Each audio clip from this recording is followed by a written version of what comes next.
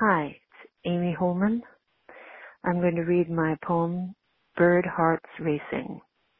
This includes a note, uh, bird spelled B-U-R-D, Middle English from Old English, brid, bride, chiefly Scottish, a young woman.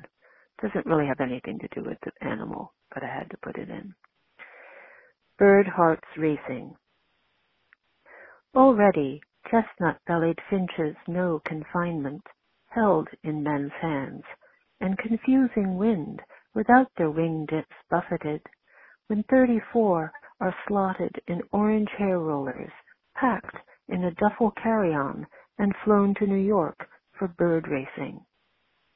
Not a contest of flight speeds, for wouldn't they always be taking it too far, undulating over each finish line and into canopies of the Parks Department's plantings?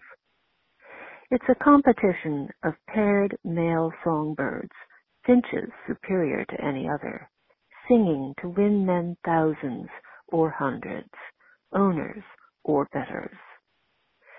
Bird emotions are controversial to some humans who specify these residual dinosaurs, yet the four-chambered hearts do allow fear. In Guyana, a man bicycles through heavily degraded former forest with a finch in his fist.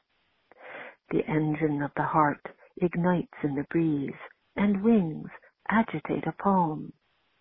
Man in a room plays a tape of the tees and teus of the last winning finch, training his captor to sing the same best.